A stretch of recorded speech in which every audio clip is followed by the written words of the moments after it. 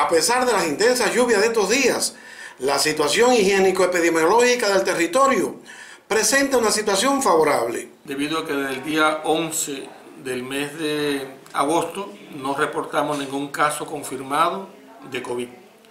Recordarles que solamente estamos estudiando aquellas personas que no se han puesto ninguna vacuna para la COVID, a las gestantes, a los niños menores de dos años porque no están vacunados, o aquella alguna persona que tenga alguna comorbilidad y sintomatología. Porque bueno, ya más del 95% de nuestra población está vacunada, protegida contra esta enfermedad. En relación al dengue, bueno, eh, en los últimos 14 días eh, tenemos tres focos, tuvimos tres focos.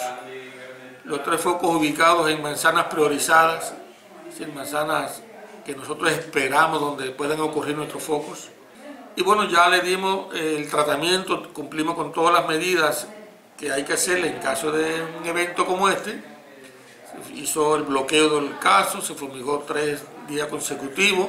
Como resultado, bueno, no hemos detectado más focos. Y bueno, hablamos con la población para que en caso de cualquier sintomatología, sobre todo fiebre, que acudan a nuestro servicio, ya sea al consultorio o directamente aquí en el policlínico nuestro.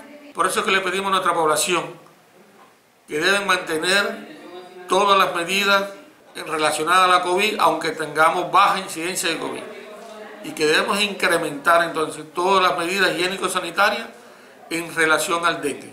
El país tiene una alta incidencia de dengue, nuestra provincia tampoco comprometida, por tanto no podemos bajar la guardia. Y en estos tiempos ya finales de año, debemos entonces incrementar todas las acciones para terminar un buen año desde el punto de vista sanitario en Medialuna. Es importante cumplir las medidas higiénicas previstas en aras de evitar la aparición de peligrosas enfermedades. Humberto Arzuaga, en directo.